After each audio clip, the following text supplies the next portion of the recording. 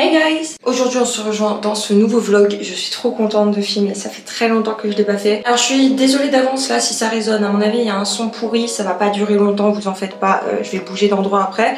C'est juste que, vas-y j'arrive pas à mettre un micro sur cette caméra, à chaque fois il le détecte pas et je me suis pas vraiment penchée sur la question quoi. Alors, il est déjà super tard dans ma journée, euh, mais j'ai décidé de faire un vlog et je vous parlerai des raisons juste après. Là, je vais pas vraiment m'étaler parce que je sais que vous avez un son pourri, donc on va faire en sorte que je sorte de ma salle de bain assez rapidement. Je voulais me faire la face, je voulais me rafraîchir le paysage. Dans cette vidéo, euh, après, je vais aller monter un meuble et pendant que je monterai le meuble, j'aborderai avec vous certains sujets. Il faut qu'on parle vous et moi. Là, je vais faire un petit masque euh, pour les cheveux parce que mes cheveux ils cassent. Non, mais c'est une catastrophe. Euh, du coup, je vais faire un petit masque pour cheveux. Avant d'aller monter mon meuble, je voulais vous parler d'un truc. Alors là, je ne l'ai pas parce que je ne la trouve pas. Et si je la trouve pas, pour moi, c'est sûrement qu'il y a une raison. Donc, euh, je vais pas commencer à la chercher partout. Je retomberai dessus quand je devrais retomber dessus. Telles sont mes croyances. Je vous avais dit sur Instagram, je crois, que j'avais commandé une Moldavite. Alors, là, attention, hein, on parle de croyances. Hein. je vais vous parler de lithothérapie. La lithothérapie, c'est la guérison les soins par le pouvoir des pierres. Et euh, donc c'est vous y croyez ou vous y croyez pas, merci de respecter les croyances de chacun. Donc là, euh, moi j'y crois. Hein. et euh, donc j'ai commandé une moldavite qui est combinée avec un diamant de Herkimer. autant vous dire que je sais la tête que vous faites si vous y connaissez en lithothérapie, je sais très bien la tête que vous êtes en train de faire. Mais moi je suis quelqu'un qui aime le risque. Alors qu'est-ce que c'est la moldavite je me laver les mains. La moldavite, c'est une pierre de transformation, de changement. Euh, c'est une pierre qui euh, est pas douce, qui va t'enlever tout ce qui a rien à faire dans ta vie pour te mettre sur le bon chemin de vie. Et tu peux perdre énormément de choses parce que c'est une transformation via la perte que la Moldavite elle, propose. Euh, alors pourquoi est-ce que je l'ai prise? Parce que malgré ça, elle a des côtés extrêmement forts, extrêmement puissants, extrêmement Je suis en train de faire le montage et je voulais juste donner une petite précision. Du coup, si vous êtes intéressé par les moldavites, sachez que la moldavite est une pierre extrêmement rare parce que comme je dis, elle vient d'une météorite et c'est une pierre qui coûte très cher et très forte. Mais si c'est des effets qui peuvent vous intéresser, vous pouvez utiliser un petit peu sa petite sœur qui est la malachite et euh, qui a des effets plus doux et qui est beaucoup plus commune. Voilà. Mais c'est une pierre que vous ne pouvez pas porter euh, si si vous n'êtes pas déjà habitué à la lithothérapie, parce que c'est vraiment, on va dire, euh, la pierre, genre le saint graal de la pierre qu'on peut porter un jour, quoi. Pour vous dire, j'ai été choquée d'apprendre euh, dans les livres de lithothérapie qui conseillent de travailler tout d'abord 15 minutes par mois avec. Bien sûr, ça je l'ai lu après l'avoir porté 3 semaines d'affilée autour de. Bien sûr, essayé de pas dormir avec, même si euh, parfois j'oubliais. Et du coup, la question c'est est-ce qu'il y a eu des changements? Est-ce qu'il s'est passé quelque chose? Il faut savoir que malgré le fait, enfin malgré mes croyances, malgré ma religion, malgré euh, voilà tout ça, je reste quelqu'un de très terre à terre. Et ce qui fait que la lithothérapie, j'y croyais, mais il y avait une partie de moi qui, bah, Capricorne, la meuf elle explique tout par l'ésotérisme, tu sais. Il y a une partie de moi qui restait très terre à terre euh, sur ces sujets-là. Du coup, moi j'ai fait très attention et je me suis dit je, ne me ferai pas avoir par l'effet Barnum.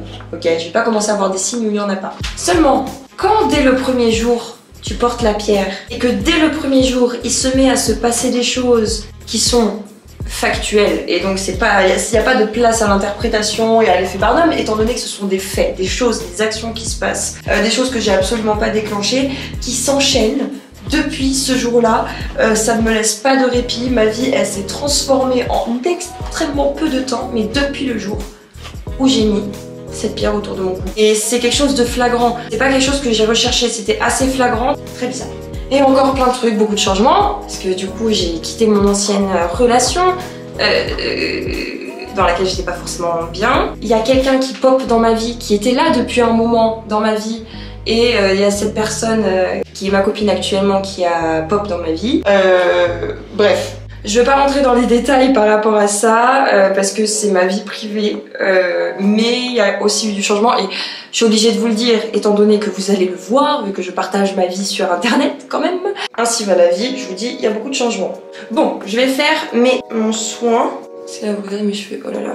Aussi, avec cette meule David, euh, je me suis énormément instinctivement en fait rapprocher euh, de ma religion. Alors j'étais déjà pratiquante etc.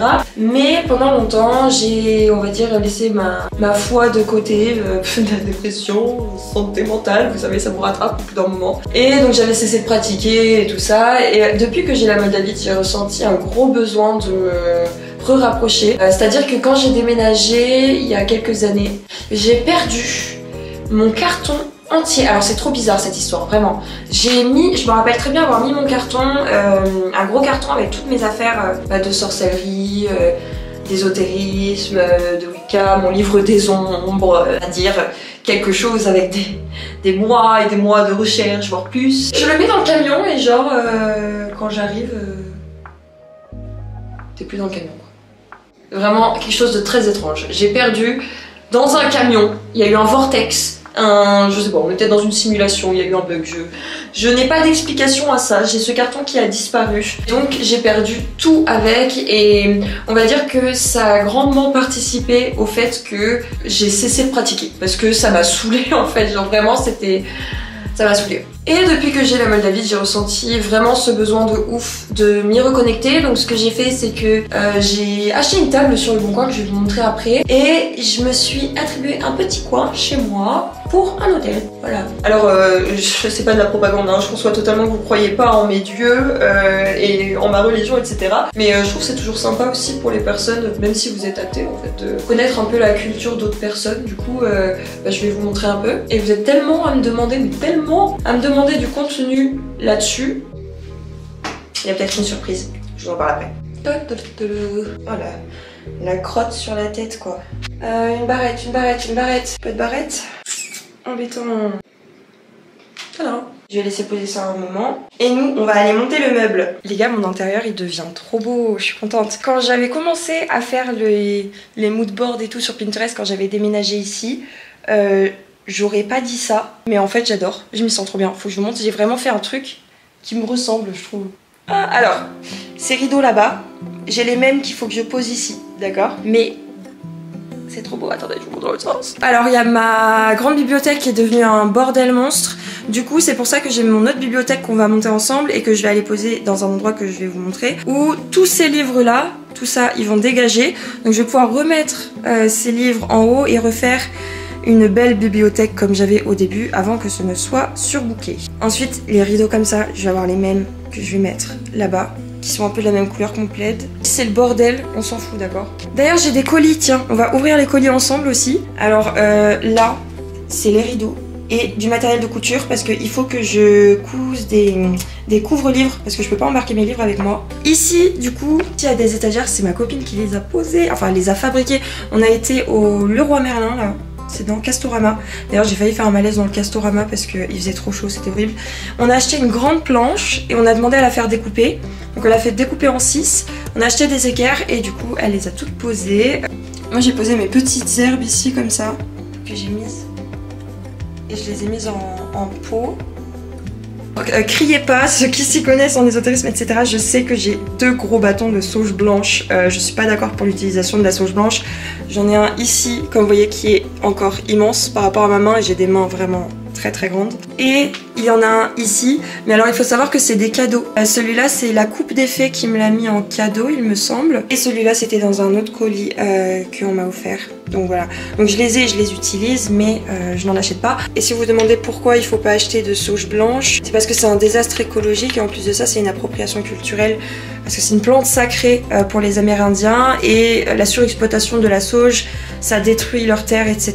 Donc voilà, c'est vraiment sacré pour eux et, c'est en train de tout détruire pour eux. Donc si vous avez tendance à purifier chez vous avec de la sauge blanche, vous pouvez éviter ça et prendre des plantes qui purifient tout aussi bien. Déjà la sauge officinale que vous pouvez avoir dans votre jardin, elle purifie très bien. Il y a aussi le romarin, la lavande. Il y a plein de bâtons de fumigation différents qui sont pas forcément euh, de la sauge blanche. Voilà. Bon alors je sais qu'il y en a qui euh, sont vraiment pas d'accord avec ça, le fait de montrer son hôtel et tout. Euh, mais moi mon hôtel là actuellement tout de suite, je l'ai installé il y a peu de temps et j'ai pas encore du coup fait mon rituel de consécration de mon hôtel. Donc pour l'instant ça ressemble à un hôtel mais c'est juste un bureau avec des jolies bougies et tout ça parce que la consécration, la consécration euh, n'a pas encore été faite. Je l'ai fait euh, ce week-end. Étant donné que c'est un rituel qui est très profond, euh, ça veut dire que toi tu dois faire et un bain purifiant, euh, t'as toute une préparation à faire, t'as T'as beaucoup de choses à faire, on va dire, pour une consécration aussi grosse que ça. C'est un rituel qui va durer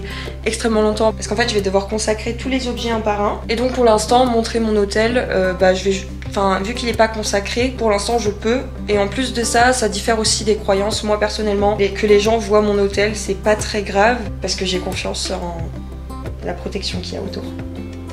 Du coup, il y a la première petite partie euh, ici, mais je ne vais pas vous le montrer en détail, je vous le montre juste vite fait. Il y a la première partie ici, euh, donc là où il y a les deux représentations euh, des deux dieux principaux. Donc ici, il y a la triple déesse Céridouenne et ici, il y a le dieu cornu Cernunos. Ici, j'ai une neuvaine que j'ai achetée sur le site des Dryades. C'est le site de Sarah elle. c'est une neuvaine Hécate, donc c'est la divinité j'honore. Donc ça c'est tous mes livres académiques euh, parce que du coup euh, j'ai décidé de redocumenter ce que mes recherches parce que j'ai perdu bah, toutes mes documentations et j'ai mis beaucoup de temps à accepter de, bah, de le refaire donc je dois tout refaire de A à Z c'est pas grave. Donc là il y a mes livres, enfin mes carnets pour ça et dans les colis il m'en reste deux je crois parce que euh, oui on va dire que ce domaine là c'est énormément énormément énormément de théorie. C'est-à-dire que si tu te dis oh mais moi aussi je vais être une sorcière, je veux machin, mais que t'es pas prêt à étudier, mais vraiment étudier. Hein. Je parle pas de lire un livre avec un peu de documentation, je parle d'étudier, de, réviser en fait. Euh, ça sert à rien. ça sert à rien. C'est il faut aimer apprendre et vouloir apprendre. Du coup, je recommence mes documentations et euh, les carnets qui sont ici. Ensuite, ici, il y a mon petit chaudron. Alors, à quoi ça sert un chaudron? Non, c'est pas pour faire des filtres d'amour ou pour marabouter les gens. Euh, c'est juste pour mettre mon petit charbon, donc là, qui a bien cramé. Mon petit charbon euh, ardent avec euh, des herbes dessus, donc les herbes que vous voyez là-bas. donc des herbes purifiantes et tout ça. Ou alors, mettre mon charbon avec l'encens. Encens qui est ici. Voilà, donc là, je range petits encens. La coupe que... Parce que je me suis acheté une nouvelle coupe parce que la mienne a été toute petite et je l'aimais pas. Mais en fait, elle rend beaucoup trop imposante. Et je sais pas, j'ai l'impression qu'elle fait un peu... Euh, elle est lourde, hein, c'est pas du, vieux plastique. Mais j'ai l'impression qu'elle fait un peu dinette. Voilà, je suis pas fan. Euh, moi, je préfère les trucs plus traditionnels. Par exemple, cette cloche-là. Oh, magnifique. Cette cloche-là, donc euh, c'est une cloche d'invocation. Voilà, ça se fait en début de rituel. Et celle-là, elle est très jolie et je préfère les trucs en fait plus, plus classiques. Donc euh, je vais peut-être le vendre et m'acheter un autre calice. Ici, il y a une plaque. Donc c'est une plaque avec un pentacle dessus. Alors non, c'est pas du tout le signe de Satan. D'accord? Parce que le signe satanique, c'est le pentacle qu'ils ont pris de cette forme-là pour faire un, bouc. En fait, vous voyez, les oreilles, la tête et tout ça, alors que nous en fait c'est une étoile donc qui représente euh, les cinq éléments. Voilà. Et je dis les cinq éléments parce que il y a l'esprit euh, en haut. Parce que dans d'autres régions il y a l'esprit, voilà c'est tout. Des petits bols trop mignons, bol d'offrande, le petit buste pour la déesse. Là il y a des petits cierges qui sont trop beaux. Bref, je vous fais pas une présentation complète, mais je vais vous parler un petit peu de tout ça juste après. Juste regardez comment c'est trop beau. C'est du cristal de roche. Voilà. Incroyablement beau. Et il y en a une grande du coup euh, juste là-bas. Donc j'ai des colis à ouvrir. Déjà il y a les carnets c'est sûr, c'est les derniers euh, qui me manquaient. Et en plus moi j'ai... C'est quoi ça Ah c'est mon livre, voilà. Je voulais pas commencer à écrire et à documenter de manière écrite tant que je n'avais pas reçu les carnets qu'il fallait. C'était hors de question que j'écrive alors que après je devrais écrire dans les carnets etc. Donc euh, disons que tous les livres là-bas je les ai lus. Hein. Et maintenant il va falloir que je les réalise et que je les écrive. Du coup, j'ai pas été très explicite, mais euh, ma religion c'est la Wicca. Et si je vous en parle là, c'est parce que euh, c'est pas du tout de la propagande ou quoi. Hein. Vous croyez en ce que vous voulez, vous ne croyez pas en ce que vous voulez. Euh, moi, c'est pas ma vie, d'accord? Ma vie, c'est ma vie. Et d'ailleurs, respectez aussi mes croyances, s'il vous plaît. Parce que c'est pas une religion qui est très connue du grand public, même si ces dernières années, les religions païennes se sont un petit peu plus développées, on va dire, et touchent un petit peu plus de le grand public. Si je vous en parle, c'est parce que j'avais commencé à vous en parler et vous avez été... Je pense que c'est simple, c'est au-delà du TDI, c'est la vidéo la plus demandée de ma chaîne. Mais au-delà de toute vidéo avec Alter ou quoi que ce soit, de loin, elle les fume. J'ai tellement, tellement de demandes faire une vidéo sur la Wicca. Euh, donc y a cette religion. Je voulais pas parce que exposer ma religion c'est quand même quelque chose de très très personnel, c'est quelque chose que j'avais pas vraiment évoqué avant, mais c'est quelque chose qui prend de plus, de plus en plus de place dans ma vie. Mais voilà, religion et psychologie, santé mentale, etc., c'est pas deux choses que tu peux te permettre de mélanger sur la même chaîne. Parce que on parle de science et de pseudoscience. Du coup, mélanger les deux sur une même chaîne, c'est pas bon. Et en plus de ça, euh, mélanger le TDI avec sorcellerie, euh, Déjà qu'on me dit que je suis possédée H24, alors là c'est pire que tendre le bâton pour se faire battre, clairement. Seulement c'est vraiment quelque chose que je vais vous partager quand même. Donc j'ai beaucoup beaucoup réfléchi et j'ai décidé d'ouvrir une chaîne secondaire qui est disponible dès maintenant que je vais vous mettre en barre d'infos. Et ce sera pas, je, ce sera je pense pas une chaîne où, je vais l'alimenter euh, tout le temps et tout ça, c'est juste une chaîne où je vous posterai des vidéos à propos de ça parce que ça me tient à cœur d'en parler et que je vois que ça intéresse beaucoup beaucoup de monde et c'est quelque chose qui me passionne. Donc j'ai trop envie de parler de quelque chose qui me passionne et j'ai trop envie de, de pouvoir euh, aider les personnes qui bah, qui se cherchent un peu et qui sont intéressés là-dedans. Donc je vous en parle un petit peu dans cette vidéo parce que comme ça, ça vous fait un petit avant-goût de ce que je vais présenter sur mon autre chaîne. Et comme ça, si ça vous intéresse, vous pouvez aller me suivre dessus. Sur la chaîne, euh, je vous montrerai pas forcément ma pratique, etc. Mais je compte faire un contenu plus éducatif, genre comment se lancer, euh, des recommandations de livres. Ça va être sur la mythologie, ça va être euh, sur les herbes, ça va être sur plein de choses, les différentes pratiques, euh, les fêtes. Enfin voilà, mon but sur cette chaîne-là, ce sera de vous aider et aussi de vous partager ma passion. Donc le livre que j'ai reçu là, c'est un livre sur Ceridwen. Ceridwen, c'est la déesse celtique euh, qui est associée à la triple déesse, donc à la grande déesse, donc à la déesse mère, la grande déesse. Donc selon la religion celtique et euh, la Wicca qui est beaucoup basée sur les cultes celtes. Le grand dieu c'est Cernunnos et la triple déesse c'est Ceridwen, qui a également dans d'autres légions d'autres noms, euh, par exemple Gaïa. Et donc ça euh, c'est un livre sur Ceridwen, tout simplement, j'ai trop hâte de le lire, que je vais euh, faire en premier chapitre sur la mythologie. C'est Noël. Et donc forcément la première vidéo qu'il y aura sur l'autre chaîne, ce sera qu'est-ce que la Wicca, etc. Donc pour aller voir, mais cette vidéo sera pas encore sortie quand celle-là sera sortie. Donc vous, vous pourrez aller vous, abonner à une chaîne euh, où il n'y aura pas encore... Euh, j'ai ouvert dans le mauvais sens, super. Où il n'y aura pas encore de vidéo, mais ça sortira. C'est mes petits pots Trop mignon euh, J'avais plus de pots en verre pour mes herbes. J'ai trop d'herbes. Il y en a 15. Et le dernier carton, mes carnets Ah mais il est immense eh J'ai pas regardé les dimensions. Je me disais bien aussi un carnet dans un si grand carton. Oh, il est incroyablement beau celui-là. Très bien. Alors ça, ça va être mon carnet. Ils sont de la marque Pepper Blanks. Euh, disons que ouais, tous mes carnets là actuellement sont de la marque Pepper Blanks. Euh, mes carnets pour euh, toute cette pratique. C'est des carnets qui coûtent cher, euh, c'est sûr. Mais étant donné que c'est des carnets pour moi académiques, des carnets d'études, des carnets que je vais garder toute ma vie, euh, dans lesquels il y aura toute ma documentation, toutes mes recherches, etc. Franchement, je me voyais pas les mettre dans des cahiers euh, Clairefontaine, des cahiers à carreaux avec les, couvertures transparentes là. Donc on va dire que j'ai mis le prix, mais ça va me suivre toute ma vie et j'en suis très contente. Il y a celui-ci je sais pas si la couleur elle va bien ressortir, c'est bleu et vert. Ça va être celui pour les plantes. Et celui-là que je ne savais pas aussi grand, my god C'est un grimoire le truc Je sais pas si ça ressort grand. Je sais pas si pour vous ça ressort grand, mais c'est grand. Il est où le couteau? Donc celui-là, c'était le carnet pour avec spiritualité. C'est-à-dire, euh, dans ce carnet, il va y avoir tout ce qui concerne les chakras, le karma, l'aura, tout ce qui concerne ces choses-là, on va dire. Donc c'est un immense carnet. Regardez la tranche. Est-ce que ça va bien vouloir faire un zoom ou pas? Regardez la tranche incroyable magnifique. Alors j'ai envie de dire heureusement qu'il est grand et immense parce que je pense que c'est la catégorie où je vais avoir le plus de choses euh, parce que ça va vraiment concerner tous les guides, euh, tout. Je suis sûre que c'est le carnet où je vais avoir le plus de choses à faire. J'ai envie de dire ça aurait été encore mieux si tous mes cahiers faisaient cette taille là, mais euh... Bah non du coup. Pour comparer la taille des deux, vous voyez. Oui parce que j'avais plus de sachets, euh, c'est des sachets en tissu comme ça qui sont réutilisables. Donc normalement c'est des sachets de thé. Moi je les utilise aussi pour faire des infusions, je les utilise aussi bah, pour faire des pochons, euh, des, pochons d'herbe, etc. Très bizarre de dire des pochons d'herbe. Elle est là. Je vais essayer de la monter. Ma copine, elle va rentrer, elle va me crier dessus parce que je l'ai montée sans elle. Pas grave. Bon, je me suis armée de tournevis, couteau, ciseaux et de patience. Ça va être très drôle. Je suis extrêmement nulle à tout ça. Où est-ce que j'ai mis mon téléphone? Oui, parce que j'ai noté des choses dont il fallait que je vous parle. Faites pas gaffe, j'ai deux chaussettes différentes. On s'en fout. Viens là Déjà, ouvrir le carton.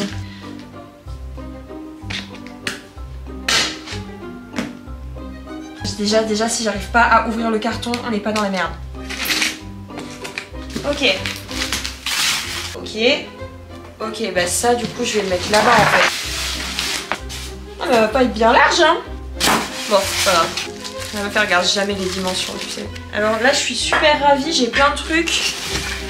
Ah, mais ça a l'air trop facile, en fait Ah, hé, tu vas voir Madame, euh, elle va rentrer, elle va voir que ma bibliothèque, elle va être parfaitement montée.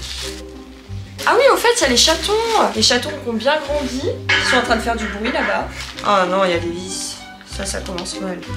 Ah, presque aussi long que la notice d'une pilule. Lisez attentivement. Gna, gna, gna. Ah, il faut une perceuse. Non, t'inquiète. Ça, c'est pas compliqué. Il faut mettre les, les trucs du dessus sur les trucs du dessous. Pour l'instant, ça va. Donc, je voulais vous parler de certaines choses euh, parce qu'il y a eu du il y a eu du nouveau par rapport à... Et euh, je, vais enfin, je vais censurer ce mot-là, euh, voilà. J'ai un suicide assisté euh, à la fin de l'année. Ça a fait beaucoup de bruit. Peut-être que vous êtes passé à côté de l'info. Voilà, je vous la donne, c'est gratuit. Et je me suis pas vraiment exprimée sur le sujet depuis la vidéo que j'avais postée sur Instagram il y a 6 mois de ça. C'était prévu, je prenne la parole, malheureusement ça s'est pas fait. Euh, c'était censé se faire avec euh, un youtubeur, mais le tournage a été reporté à septembre et étant donné que j'ai en ma possession certaines informations que je n'ai pas envie de cacher, que j'ai pas envie de vous cacher et que ça m'empêche en fait le cacher, ça, ça m'empêche de continuer à être sur les réseaux donc voilà parce que ça me fait trop de mal. Je sais que vous êtes vraiment habitués à ce que je me justifie, à ce que je vous explique toute ma vie. Euh, faut mettre G dans H, ok. Est-ce que je vous explique toute ma vie, le pourquoi du comment et j'ai besoin de mettre une certaine euh, distance par rapport à ça et j'ai besoin de garder une certaine partie de ma vie privée privée. Vous, vous doutez bien que c'est un sujet qui est euh, pas facile pour moi à aborder. Alors je vais juste vous donner des informations. Je vais pas m'expliquer à ce sujet-là. Je vais pas m'étaler. Vous avez les informations et voilà, j'ai pas envie d'expliquer ce qui s'est passé en détail, j'ai pas envie, j'ai plus jamais envie de revenir dessus en fait, en tout cas pas pour le moment. En tout cas voilà, sachez que la polémique a eu des grosses conséquences, pas seulement sur euh, ma santé mentale, mais également tout simplement sur la décision qui normalement avait été prise et était censée être définitive mais ne l'est plus. Vous vous doutez bien qu'un scandale autour de quelqu'un de entre très grands guillemets, hein, je mets des très grands guillemets, connu, là je suis youtubeuse et tout, un scandale avec ce type de personne sur un sujet tel que le suicide assisté, euh, c'est pas possible pour une carrière, c'est pas possible pour un médecin. Il y a plein de choses qui rentrent en compte. Euh, la seule chose que vous avez besoin de savoir, et vraiment je, je ne me justifierai pas plus que ça, c'est que à cause de cette polémique, ce n'est plus d'actualité. Pas que j'ai changé d'avis, en fait on m'a juste retiré le droit de faire ça euh, en sécurité et bien et voilà. Après, je sais que j'ai fauté, c'est aussi ma faute et je le reconnais, mais j'ai pas... Vous êtes pas mes juges et voilà, je suis pas au tribunal non plus. Après voilà, pour moi les choses elles sont toujours faites pour une raison, mais... Euh... il y a des choses qui se sont passées, il y a des choses qui changent. Et j'avais besoin de procéder l'information avant de... Bah, de vous en faire part. J'aurais pu attendre septembre, mais je trouve ça pas ouf d'avoir cette information en main et vous qui êtes ma commu et qui me soutenez depuis très longtemps, euh, j'avais cette information en main, je pouvais pas vous la cacher. Aussi parce qu'on me le rabâche tout le temps en fait. Hein. Euh, sous chacun de mes posts, chacune de mes vidéos, tout, tout, tout, même en message privé, on m'y ramène tout le temps à ça. J'assume, hein, pas de soucis. Mais du coup, au moins maintenant vous avez l'information, ça sert à rien de m'y ramener. Je sais pas si j'ai mis du bon côté. Ah. Est-ce que j'ai mis du bon côté? J'ai fait une bêtise. Mais pourquoi non? Bah non. Bah pourquoi? Bah... C'est normal ça. C'est une blague. Je comprends pas. J'ai... Ah merde Et il faut savoir qu'à la base, j'avais prévu de vous faire toute une vidéo où j'allais bah, parler de ça plus en profondeur. La vérité, c'est que je savais que je pouvais pas revenir sur les réseaux tant que je vous en avais pas parlé. Et j'avais pas envie de la faire cette vidéo en fait. J'avais pas envie de m'exposer encore. J'avais l'impression que j'étais obligée d'expliquer le pourquoi, du comment, de ce qui s'était passé dans ma life pour que j'en arrive là. Parce que si, parce que ça, bon ça va où ça? J'avais vraiment cette impression que j'allais être obligée de m'expliquer et j'avais pas envie. Je comprends pas là Du coup je me suis dit mais je dois être compte à personne. J'avais l'impression que je devais faire une vidéo entière pour expliquer le pourquoi ça allait pas se faire comme c'était censé se faire, etc. Euh... Bah en fait euh, non. Voilà, c'est bon j'ai compris. Et en fait je me suis rappelé que j'ai pas à me justifier. Si j'ai envie de passer à autre chose de ce chapitre de ma vie, j'ai pas besoin d'en faire une vidéo et d'expliquer le pourquoi du comment alors je sais que cette vidéo va me mettre mal à l'aise. Peut-être qu'un jour je sentirai le besoin de la faire. Je dis pas. Je pouvais pas rester dans cette paralysie, dans cette inaction parce que je me sentais bloquée par ça en fait. En fait, il y a beaucoup de choses que j'ai plus envie de faire, euh, dont me justifier en permanence de tout ce que je fais, tout ça. Il y a quelque chose que j'ai remarqué depuis peu. Ma psy qui m'a dit une phrase qui a fait que ça a tourné dans ma tête, que j'ai commencé à beaucoup réfléchir et que cette phrase m'a fait me rendre compte de certaines choses. C'était, euh, elle m'a dit, tu te sens seule, mais il y a plein de gens autour de toi qui veulent t'entourer, mais tu les rejettes tous, t'acceptes personne. Et elle a raison, c'est vrai. Pourquoi j'ai l'impression que ça va me casser les pieds ça? Elle m'a fait me rendre compte que bah j'acceptais pas forcément d'être malade. Alors c'est bizarre parce que j'en parle beaucoup, mais en fait j'accepte pas d'être malade parce que dès qu'on voit que je suis malade, euh, j'ai super honte de moi et ça me rend tellement mal que du coup bah, j'arrête carrément de, bah, de faire du contenu etc. C'est pour ça que je suis absente. Moi j'ai essayé de tourner des vidéos, j'y arrive pas. Et donc j'acceptais pas du tout de me montrer malade, de montrer que j'allais de montrer que j'allais pas bien. Et le truc, bah, c'est que quand je vais pas bien, je suis pas capable de faire semblant d'aller bien et ça se voit que soit je suis maniaque, euh, soit je suis carrément en dépression. Euh, et je me sens pas bien par rapport à ça. Je m'accepte pas du tout comme je suis, je m'aime pas du tout comme je suis. Et je me rends compte que c'est très difficile de pouvoir s'aimer sur... Euh, enfin, pouvoir apprendre à s'aimer quand t'es sur les réseaux sociaux. T'es exposé, que tu parles de sujets aussi sensibles et que très souvent, et eh ben, tu te...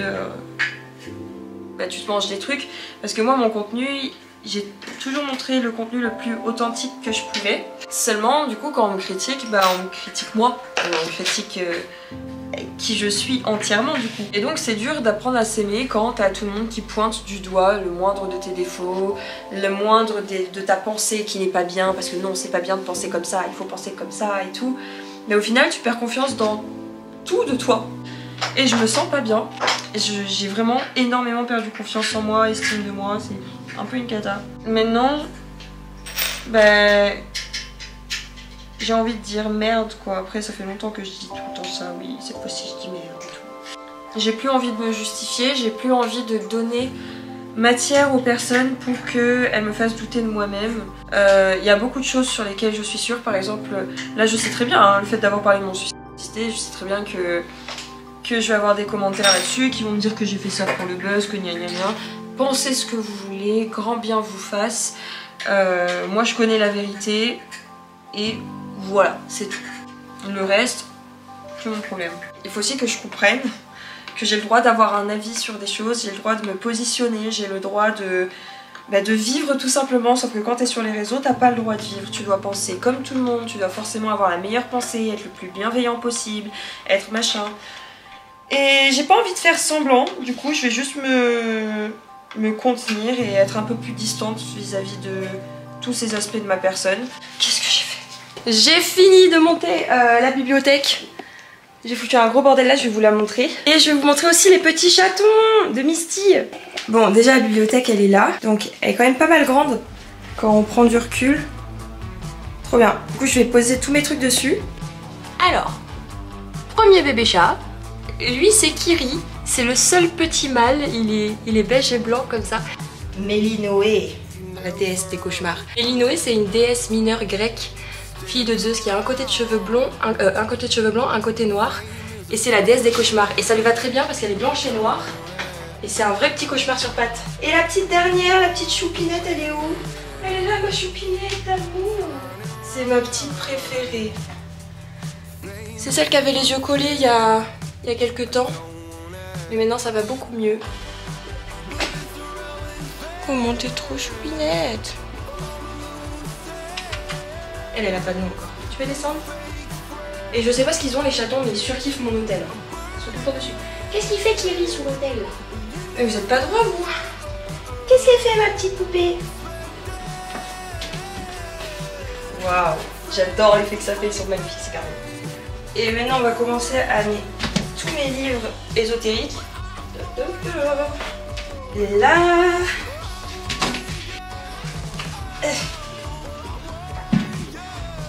Et voilà, donc là déjà je vais ranger tous ces livres. Ce que j'appelle les encyclopédies, c'est-à-dire mes livres super gros.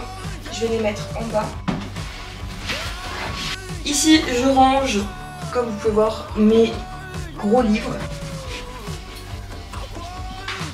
Oups, il y a là toi. Toi, qu'est-ce que tu fais? Arrêtez de jouer avec mon hôtel C'est pas un jeu J'en peux plus. Je ne serai jamais mère. On va mettre d'autres livres ici. Qu'est-ce que vous faites? Et du coup, voilà, pour l'instant, j'ai juste mis quelques livres. Puis je vais l'agrémenter avec de la déco. hein. Ça va, je vous dérange pas les crapules? Non, je vous dérange pas? Non.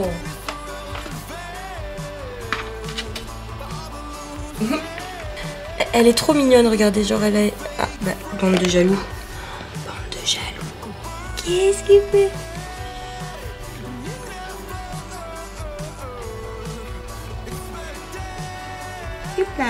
Ils vont ils s'éclater dans les cartons là. Oh. Non mais...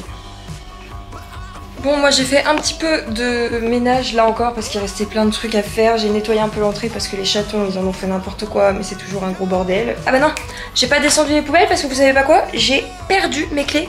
J'ai été chercher mon colis tout à l'heure, j'ai perdu mes clés. Genre, du coup j'attends ma copine parce que euh, bah, elle, elle me trouve toujours tout. Genre je lui dis que j'ai perdu un truc et je sais pas, elle le trouve. Donc je vais lui dire j'ai perdu mes clés. J'espère que je les ai juste pas genre perdu, perdu. Donc je vais aller rincer mon petit masque, je vais attendre Jeanne. J'étais censée faire à manger mais j'ai un peu la flemme en fait là. Donc je vais faire à manger après. J'espère que ce petit vlog vous aura plu. Des trucs un peu plus chill, un peu plus euh, détente que ce que j'ai l'habitude de faire. Et j'aimerais un peu plus me baser sur des trucs plus légers comme ça. Vraiment je suis contente, mon appart il commence à ressembler à quelque chose. Hein. Non c'est cool. C'est sûrement la fin de cette vidéo, je sais pas si je vais continuer à filmer après alors je fais une outro au cas où. Oublie pas d'aller t'abonner à notre chaîne secondaire si t'as pas envie de louper la première vidéo qui sortira dessus. Oublie pas de t'abonner à cette chaîne aussi, tu peux liker, commenter, ça fait toujours plaisir. Et moi je vous fais des très gros bisous et je vous dis à bientôt dans une prochaine vidéo. Bye bye